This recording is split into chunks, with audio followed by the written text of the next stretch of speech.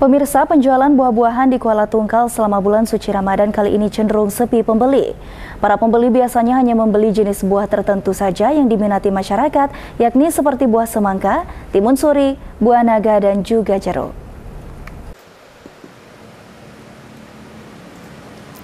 Di bulan suci Ramadan ini merupakan bulan penuh berkah bagi para pencari rupiah, terutama bagi para pedagang.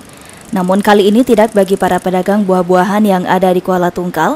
Menurut sejumlah pedagang buah, selama bulan suci Ramadan ini khusus untuk penjualan buah tidak begitu meningkat atau seperti biasa saja. Dan jika pun ramai, pembeli hanya membeli jenis buah-buahan tertentu.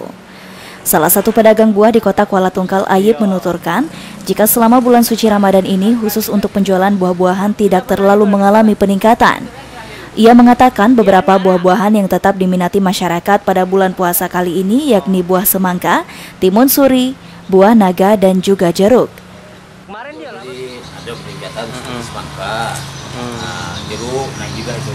Berarti yang jenis-jenis air banyak lah peminatnya bang ya? ya banyak, hmm. Kalau harga sendiri berapa bang? Puluh ribuan ya. Kalau jenis-jenis jeruk? Kalau jeruk sekarang naiknya nih cukup naik juga ini. Hmm. Kalau di Jambi sekarang mau 18, kita hmm. jual 25, 25 ya. Berarti Hal senada juga dikatakan pedagang lainnya Rahmat. Menurutnya selama ini berjualan buah-buahan baru di bulan suci Ramadan tahun ini yang cenderung sepi pembeli. Dan jika pun ada masih dinominasi dari buah-buahan yang mengandung serat air yang dibeli masyarakat. Sedangkan untuk jenis buah-buahan sendiri tidak ada kenaikan harga atau masih tetap di harga biasa sebelum Ramadan. Akibat sepinya pembeli, ia tidak berani menstok banyak buah-buahan karena dikhawatirkan akan membusuk dan tidak dapat dijual kembali. Dari masuk di bulan Ramadan ini, uh, harga buah tidak ada menaik, masih standar biasa. Uh, seperti jeruk berapa bang sekarang? Masih pasaran 25 sama 20.